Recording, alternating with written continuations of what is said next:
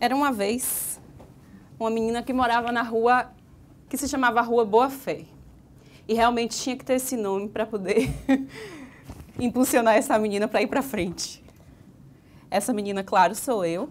E minha mãe sempre falou que a única forma, na cabeça dela, e que foi a que eu adotei, da gente sair dali seria através do estudo. Então, em 99, eu entrei na faculdade de fonoaudiologia. E em 2003, eu terminei o curso de fono e meu trabalho foi em avaliação de crianças que tiveram meningite piogênica durante a infância, meningite bacteriana, e eu avaliei essas crianças junto com a minha orientadora cinco anos depois. Daí eu entrei no, no mestrado de Medicina em Saúde e com área de concentração em Neurociências. E em 2005 eu terminei o meu mestrado e o meu trabalho foi sobre a prevalência de distúrbios de linguagem em crianças com paralisia cerebral na cidade de Salvador. Eu sou da Bahia, esqueci de falar essa parte. Ah, tudo bem, eu terminei o meu mestrado, estava trabalhando no hospital com crianças com fissura lábio-palatina, tinha um trabalho com equipe de neurociências, com crianças com é, dificuldade de aprendizagem, crianças com paralisia cerebral. Então, assim, tinha uma área de atuação um pouco ampla, mas adorava. E eu queria fazer doutorado e coloquei na cabeça que eu ia fazer doutorado fora do país. E eu coloquei na minha cabeça que eu não ia fazer só o sanduíche, que eu ia fazer doutorado todo. Me deram uma bolsa. a CAPS Fulbright me deu a bolsa. Eu vim para cá, para a Universidade da Carolina do Norte, em Chapel Hill. E entre 2008 e 2012, se alguém quiser saber mais detalhes, tem risos e lágrimas nesses últimos quatro anos e meio, mas finalmente eu defendi a minha tese de doutorado em saúde materna infantil. E essa minha tese de doutorado eu vou falar um pouquinho para vocês, a, ideia geral e os achados do, do meu primeiro paper. Ah, o que são deficiências do desenvolvimento? A Organização Mundial de Saúde diz que deficiências é um termo guarda-chuva. Dentro desse termo guarda-chuva, a gente encontra a definição de limitações de atividade que, assim, imagine uma pessoa na cadeira de rodas e não tem uma rampa de acesso, a deformidade em si, a falta de membros ou de partes do corpo ou a deformação dessas partes e restrição nas atividades. Pense numa criança com autismo ou com síndrome de Down, que não vão interagir normalmente com as outras pessoas da sociedade. O CDC, o Centers of Disease Control and Prevention dos Estados Unidos, define deficiências do desenvolvimento qualquer condição que aconteça entre 0 e 22 anos e condições que sejam permanentes. Então, foi essa definição de deficiência do desenvolvimento que eu utilizei.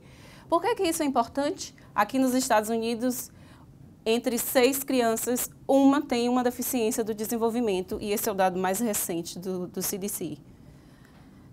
Entre, num período de 10 anos, houve um acréscimo de 2 milhões de pessoas na população com alguma deficiência do desenvolvimento.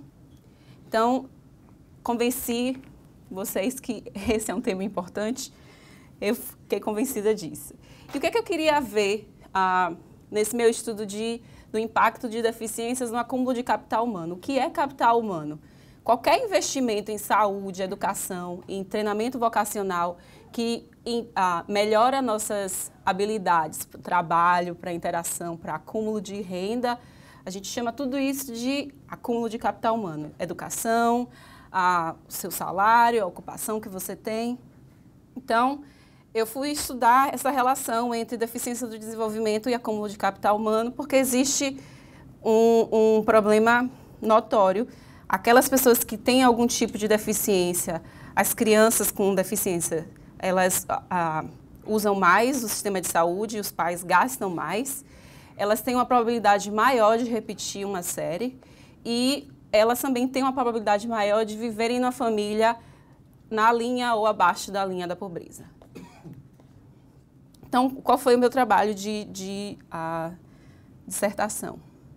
Eu usei uma teoria, Social Cognitive Career Theory, para embasar todo o meu trabalho e aqui no meio vocês têm a relação principal, que foi a minha análise do primeiro paper, E a teoria fala que características pessoais influenciam na sua performance, na sua performance e no que você vai atingir na vida.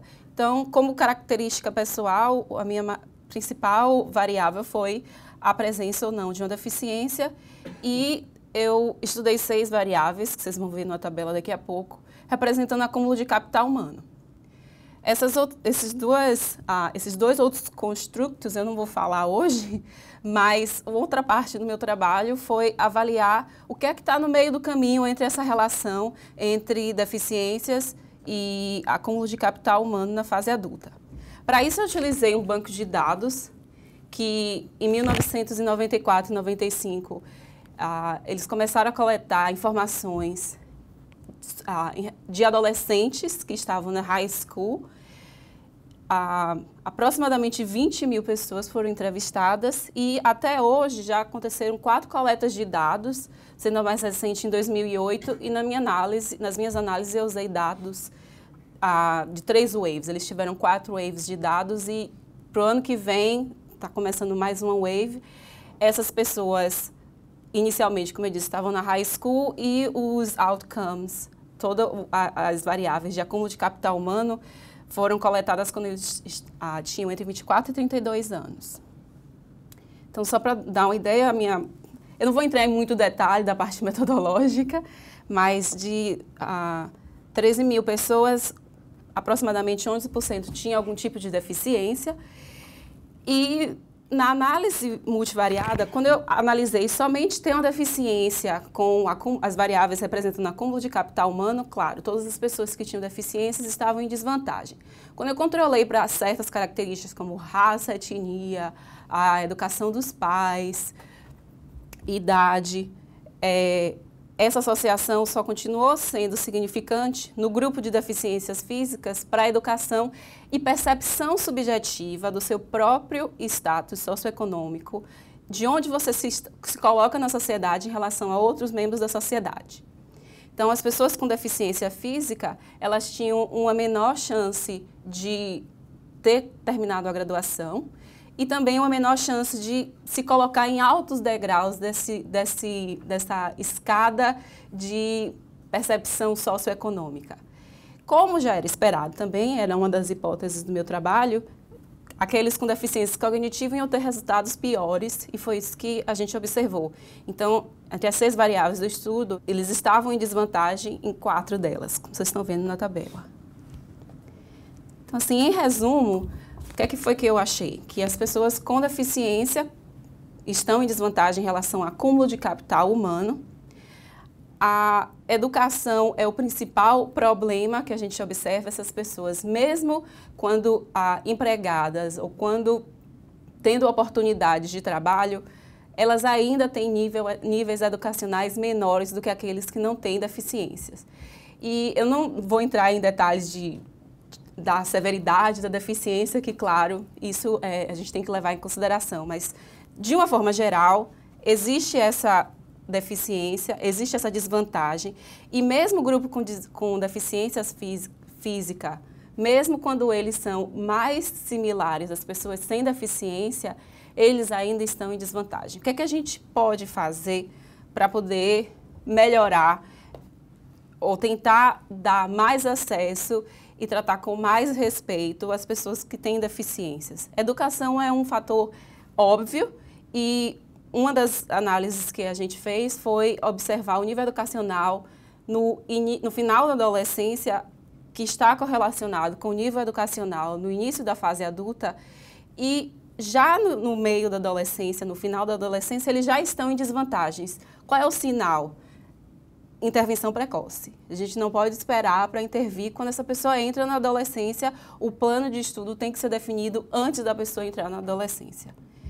E as necessidades do grupo com deficiência física e cognitiva são diferentes. E esse é um alerta para os police makers na hora de analisar esses grupos, levar em consideração essas diferenças. E agora, José, o que eu faço com tudo isso? Voltando para o Brasil agora em janeiro, como é que eu vou juntar a fono, neurologia e saúde pública.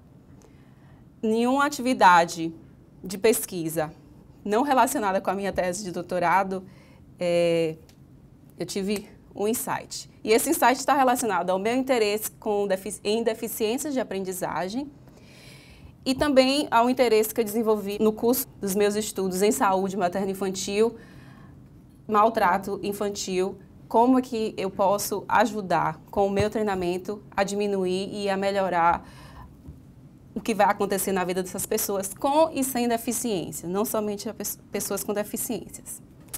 Trabalhando com esse professor, eu comecei a estudar competências socioemocionais, e isso foi agora há quatro meses. e intervenções que visam melhorar competências socioemocionais em crianças, mesmo em crianças não alfabetizadas. Tem o, o, aqui em Harvard tem o Center on the Developing Child, que é muito forte e está mostrando para a comunidade científica americana e internacional que intervenção precoce matters muito mais do que o que a gente imagina. E, a gente, e eu quero agora focar o meu trabalho em trazer para o Brasil, me juntar com pessoas no Brasil que fazem pesquisas nessa área, para trazer intervenções que vão melhorar competências socioemocionais em crianças antes mesmo delas começarem a ser alfabetizadas. E é isso. Meu caminho agora é tentar integrar tudo isso.